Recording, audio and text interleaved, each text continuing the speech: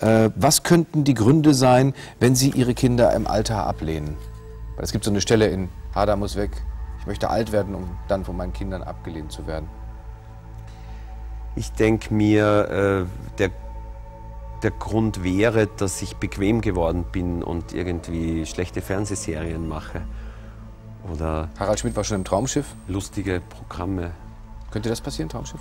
Herr Hader? Nein, äh, Harald Schmidt äh, geht anders mit Medien um. Der darf sowas, finde ich. Aber ich darf so, ich, ich, ich sollte sowas nicht machen. Waren Sie schon mal beim Sex sarkastisch? Beim nicht. Äh, vorher, nachher eventuell. Vorher, um Eindruck zu schinden und nachher, um irgendwas wegzureden. Was, was fürchten Sie mehr, Herr Hader? Krebs oder ein Publikum, das sagt, der Hader war früher besser? Doch lieber Krebs, obwohl die Entscheidung nicht so einfach war. Was ist an Ihnen sexy, wenn Sie nicht sprechen dürfen? Schauen. Wie? Ich kann gut schauen. Okay.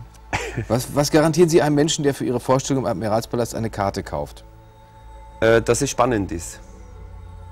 Ja, Nicht durchgehend witzig, äh, aber es ist äh, so spannend, dass man trotzdem im Raum bleibt. Also fast alle. Jetzt kommt eine Frage, die habe ich kürzlich Ihrer Landsmännin, wenn man das so sagt, oder Landsfrau Sophie Reuss gestellt, die zum Glück hier bei uns war.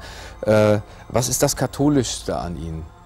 Weil Sie waren Messdiener, Sie haben das ja jetzt die, diese Dass Pressearbeit. ich, dass ich äh, misstrauisch bin, wenn mir was leicht fällt. weil, Äh, wenn ich was einfach hinschreibe und, äh, und denke mir, das ist eigentlich gut. Das war jetzt in 15 Minuten war das hingeschrieben und ist gut und ich denke mir, es kann nicht gut sein.